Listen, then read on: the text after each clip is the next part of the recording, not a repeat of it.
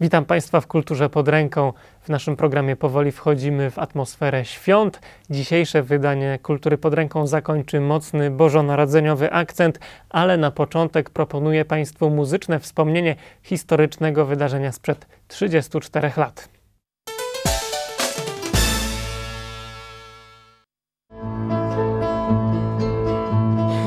Wyrzuć pamiątki, spal wspomnienia i w nowy życia strumień wstąp jest tylko ziemia.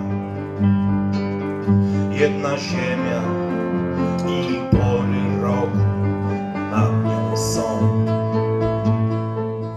koncert to tradycja Domu Kultury na Skarpie z osiedla Piastowskiego i choć co roku w grudniu na tej estradzie stają inni artyści, to jednak do publiczności niezmiennie płyną piosenki bardów Solidarności Jacka Kaczmarskiego i Przemysława Gintrowskiego.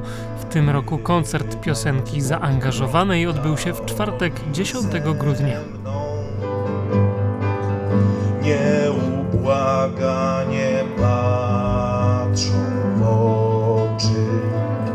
Ze mną są panowie Łukasz Groszewski i Sebastian Nawrot.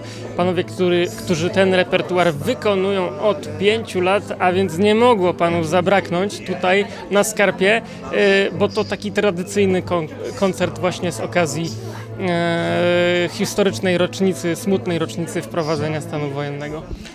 E, witamy serdecznie, bardzo nam miło, że możemy u Państwa gościć dzisiejszego wieczoru. Myślę, że okazja jest bardzo e, specjalna, bo jesteśmy w przeddzień 34. rocznicy e, wprowadzenia stanu wojennego. Co więcej, przypada ona w tym roku znowuż w niedzielę, czyli tak jak, jak było to 34 lata temu, w nocy z soboty na niedzielę, z 12 na 13 grudnia.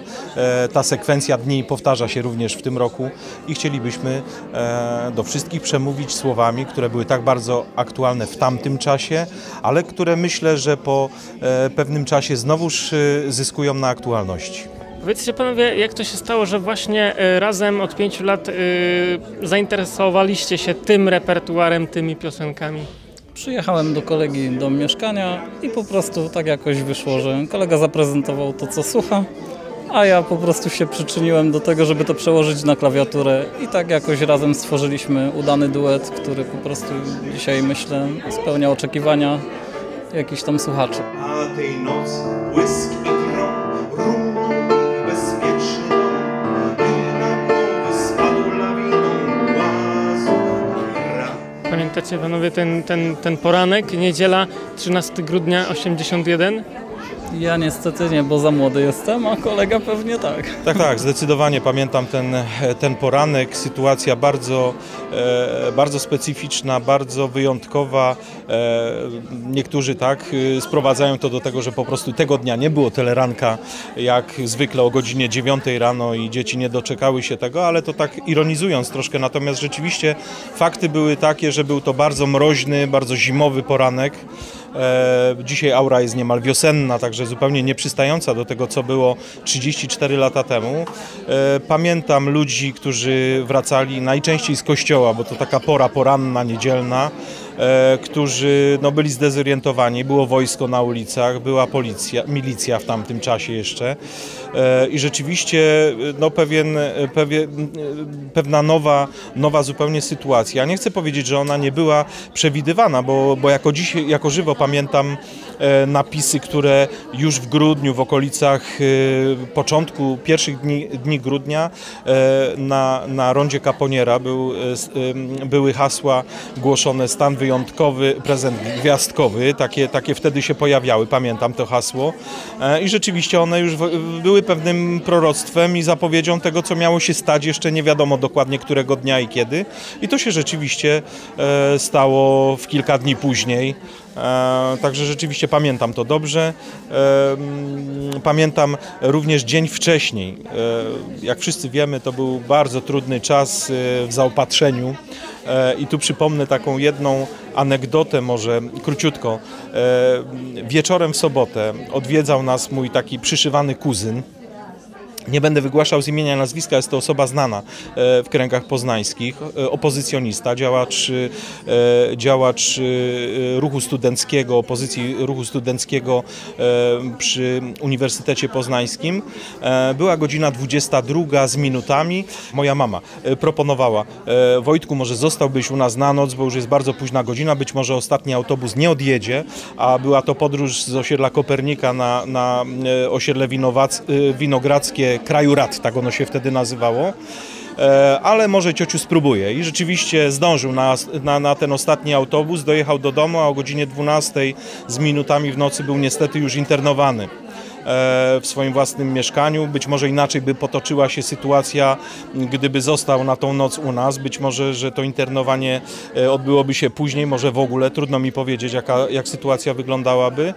Trafił niestety do, do Gębarzewa, do, do miejsca odosobnienia z wieloma innymi towarzyszami e, niedoli w tamtym czasie. I to taka anegdota rzeczywiście jako żywo przy, przypisana tamtym chwilom, tamtemu czasowi, który jest tak nieodległy w gruncie rzeczy, prawda? Dzisiaj ta sytuacja na ulicach i też aura, jak Pan powiedział, y, nie przypomina zupełnie tych lat, ale być może naszym telewidzom przypomni się ten czas za pośrednictwem Waszych piosenek. Bardzo dziękuję. Bardzo dziękujemy i życzymy e, miłego, udanego odsłuchu i do, dobrego wieczoru. Nie, nie jesteśmy bierni i smutni, chustka przy twarzy to katar. Nie będzie klusek z makiem i kuti, będzie chleb i herbata. Siedzę i sam się sobie nie mieszczę, patrząc na swoje życie. Jesteśmy razem czegoś chcieć jeszcze, jutro przyjdzie Zbawiciel. Lulaj, że Jezuniu moja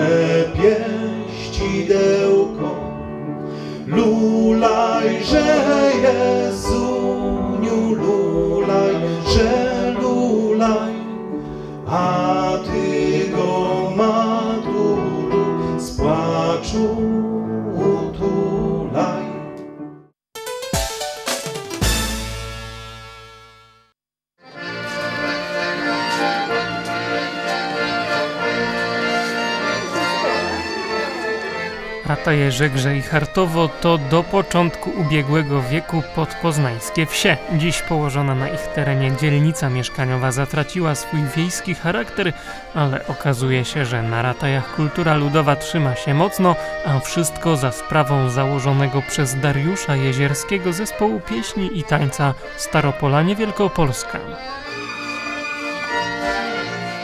W tych pięknych strojach y, dla mieszkańców Poznania i całej Wielkopolski tańczy i śpiewa zespół Staropolanie Wielkopolska.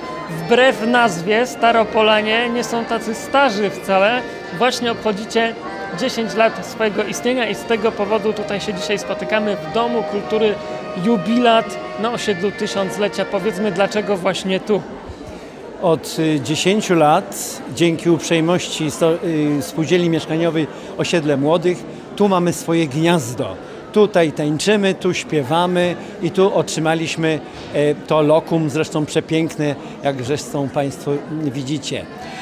10 e, lat e, to długo, jako że to są ludzie, sam powiedziałeś, nieco starsi. Są tańczą 40-latki, 50, 60, 70-latki. E, a ponieważ do czynienia mieli z tańcem XX lat, czyli tańczą tu po 30, po 40 lat, to tego chołupca przysłowiowego jeszcze w stanie są wyciąć. Tańczą te 40 lat, bo tańczyli w innych zespołach. Yy, powiedz, yy, Darku, skąd te osoby, z, z, jakich zespołów do Staropolan przyszły? Mamy tutaj członków takich zespołów jak Wielkopolska, Śląsk, Mazowsza nikogo już nie ma. Mamy z Cepeli, mamy z Wielkopolan, ludzie, którzy tańczyli x lat i mam nadzieję jeszcze w dalszym ciągu, mam nadzieję oczywiście, że potańczą. A już najbliższa okazja, żeby zobaczyć i posłuchać Staropolan Wielkopolski, to wasz oficjalny już jubileusz w Teatrze Polskim. Kiedy się odbędzie? 4 stycznia o godzinie 18 e, w Teatrze Polskim, dzięki uprzejmości oczywiście Teatru Polskiego, jako że Teatr Polski był pierwszym naszym sponsorem, jako że od nich dostaliśmy nasze pierwsze stroje do pierwszego występu. A na ten e, spektakl, jak e, wiem, już pewnie są wszystkie bilety wyprzedane, ale pewnie będzie można Was obejrzeć i posłuchać w Waszym sztandarowym, kolędowym programie e, tańczone i śpiewane kolendy. Tak, kolendy i pastorałki w formie tanecznej będą nie tylko y, y, w, tutaj na miejscu, a więc y, w jubilacie, ale w wielu kościołach, o czym Państwo będziecie mogli się dowiedzieć z naszej strony internetowej. Y, Co niedzielę mamy y, kolendy i pastorałki y, w różnych kościołach Poznania. Na kolendy i pastorałki Staropolan zapraszamy zatem do poznańskich kościołów, a w naszym programie proponujemy jeszcze fragment jubileuszowej gali zespołu.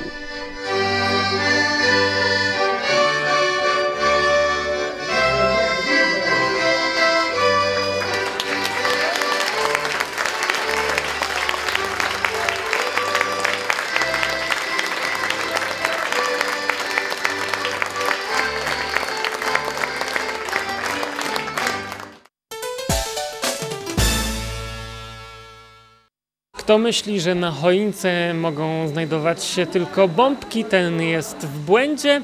W Domu Kultury Jagiellonka uczestnicy warsztatów przedświątecznych udowadniają, że na choince można powiesić prawie wszystko pod warunkiem, że to jest ładne. Oczywiście y, na dzisiejszych warsztatach w większości powstają aniołki, takie fantastyczne. Y, Dzieciaki wraz z rodzicami naprawdę robią y, cudne ozdoby choinkowe. Nie ukrywam, że sama bym chciała mieć takie na choince.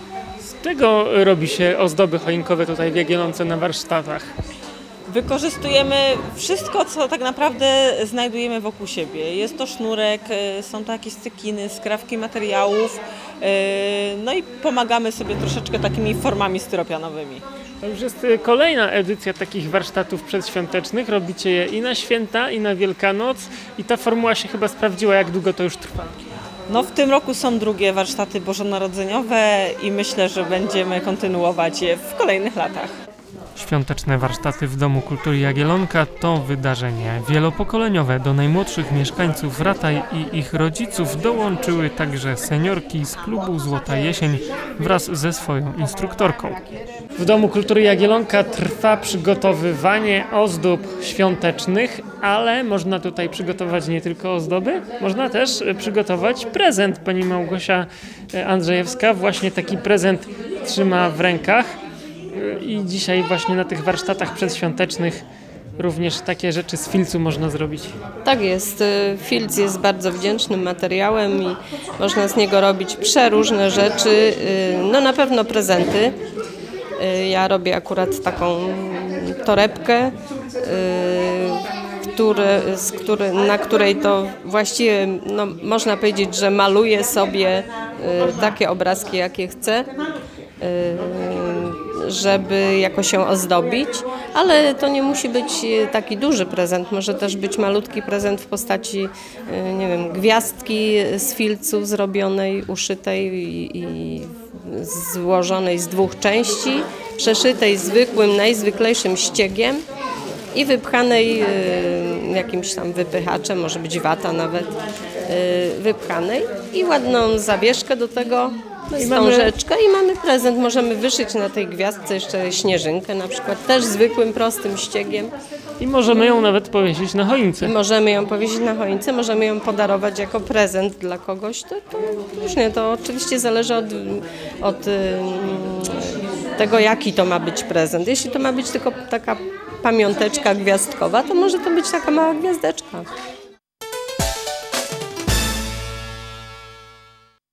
Dzisiaj w naszym programie to już wszystko. Na kolejne wydanie Kultury pod ręką zapraszam Państwa w pierwszy dzień świąt, premierowo o 16.30.